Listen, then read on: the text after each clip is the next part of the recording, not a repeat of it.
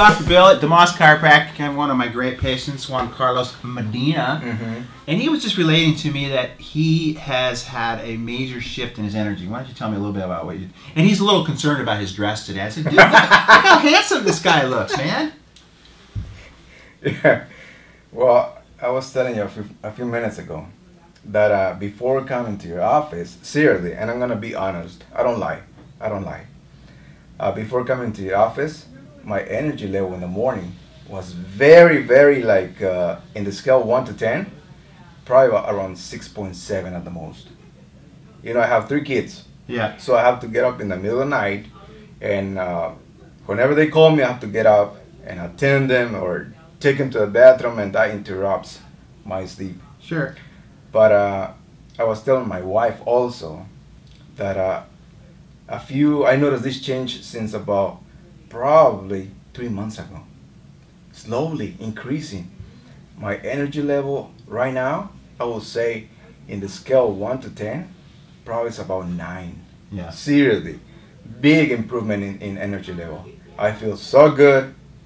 Uh, hey, my sex drive is better. You tell me that in there, huh, pal? but uh, seriously, my uh, my uh, energy Now, level. does your wife like that, or, you know, is she...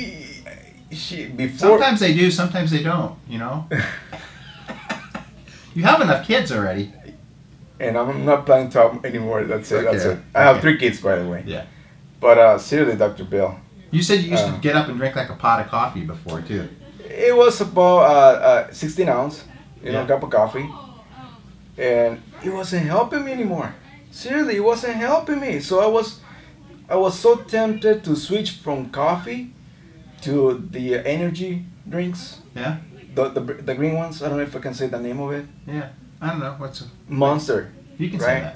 Well, I was I was gonna switch from the coffee to the monster drinks, but uh, right now, right now, eight ounces of coffee, but I don't need the coffee That's what you for told me. waking up for energy. I just want a taste of it. You know, I got so used to that taste that I, I have to go and buy eight ounces of coffee, and sometimes only a couple sips, and that's it. But right now, I don't need the coffee for energy. You also, when you first came here, I kind of hugged you and you kind of freaked out about that, too. Yeah. But you said you, after a while, you kind of liked it, huh?